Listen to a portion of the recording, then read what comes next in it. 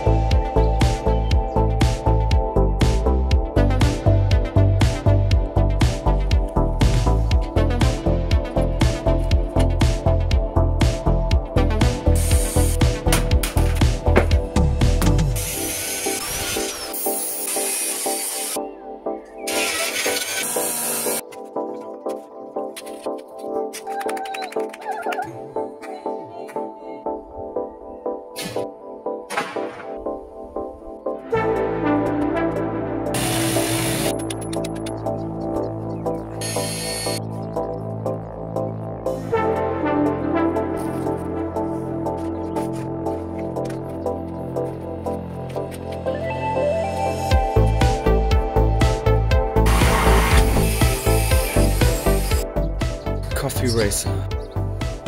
Here we go.